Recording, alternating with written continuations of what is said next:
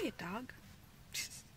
we are at my we are at my sister-in-law's and I'm gonna get a haircut. So and I have no idea what I'm doing. So we'll see what it looks like afterwards. So here's my new hair. It's so cute.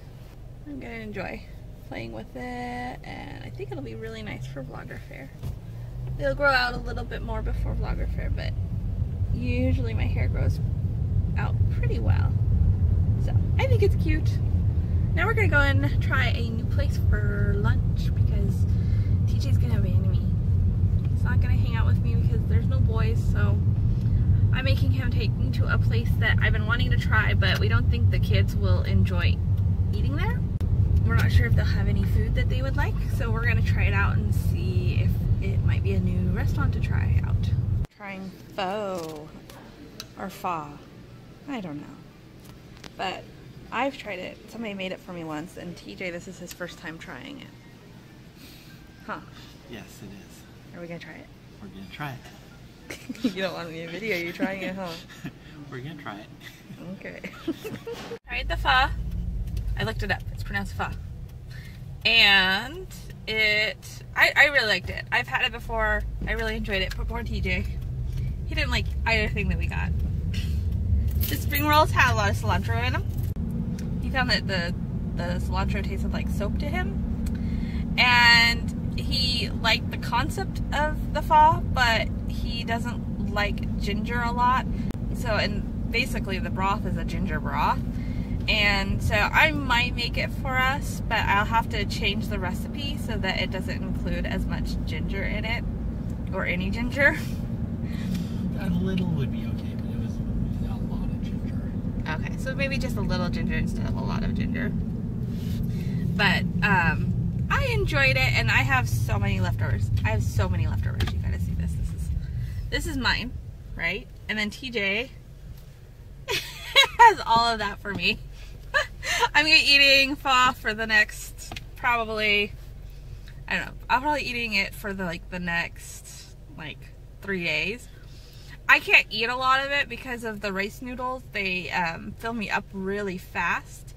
So this is more of a kind of treat meal for me because basically I only probably ate a third of what they gave us. And I'm so full.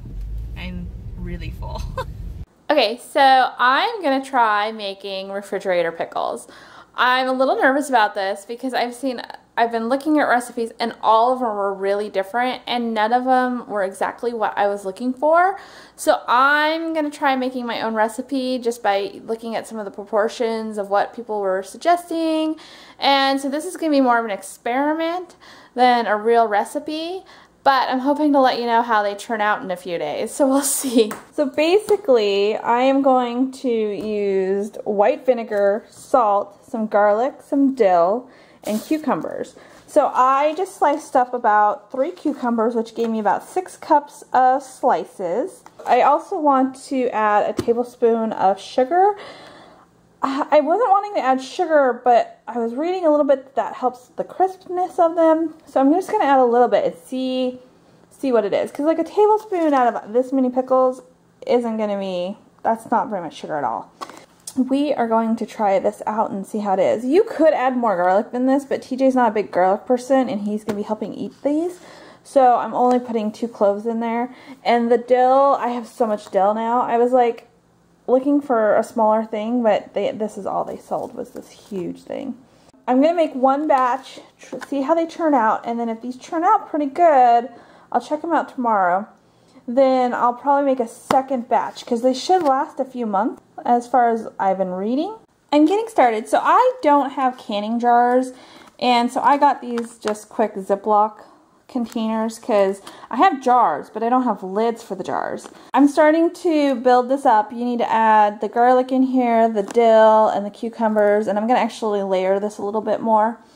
And then over here I've got one tablespoon of sugar, 1 tablespoon of salt, 2 cups of vinegar, and 3 cups of water. People were either using an even water to vinegar ratio or they had way more water to vinegar. So I'm going to try this out and then bring it to a boil and see what it's like and then we'll go from there.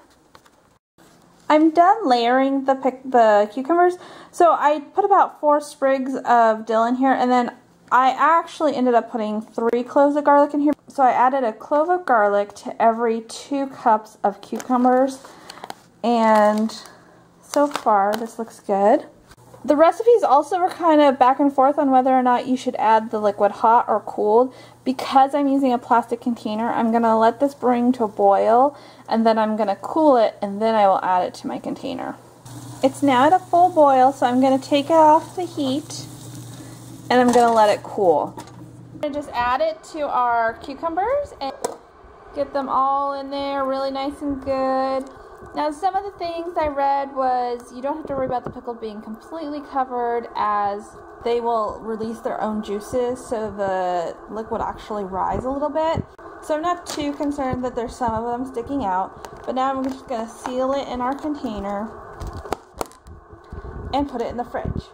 Now, I've read that anywhere from like a couple hours to a few days, they'll be ready. So this will be a fun experiment. We'll see if they turn out. So I'm excited to see how they turn out. I'm sure you are too. Guys, so it's the end of the night. I'm having a really late dinner. It's time to say goodnight. I'm gonna go and enjoy myself. Maybe enjoy a show, just kind of relax. I've picked up the house a little bit. It's been so quiet. It's almost, I don't know. Uh, I actually had to put music on, which I'm not a music person, and it's been very interesting. So I put music on because it was really strange to have the house so quiet. I have to say though, tonight I'm thankful for the quiet. It's kind of been enjoyable. It's been really a learning experience of what it's going to be like this coming fall when Zarek starts going to school. It's been a little sad, but on the other hand, I think I'm enjoying having this little tidbit of what it's going to be like to kind of prepare myself. Please like my video and please subscribe to our channel. Good night.